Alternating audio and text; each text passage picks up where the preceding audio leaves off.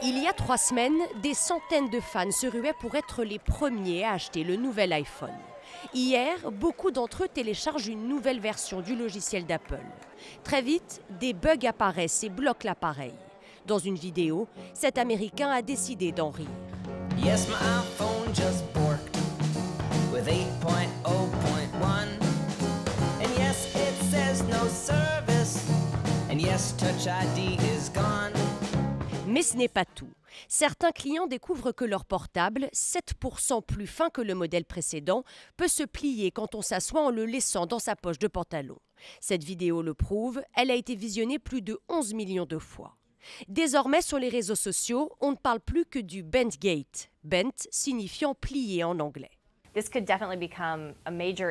Ça peut devenir un gros problème pour Apple. Ce sont des téléphones qui coûtent très cher et on s'attend à ce qu'ils tiennent au moins deux ans. Ce n'est pas la première fois que les modèles d'Apple font polémique. En 2010, l'iPhone 4 avait déjà été confronté au scandale de l'antenne Gate lié à sa mauvaise qualité de réception. Cette fois, la marque à la pomme pourrait, comme geste commercial, offrir une coque de protection.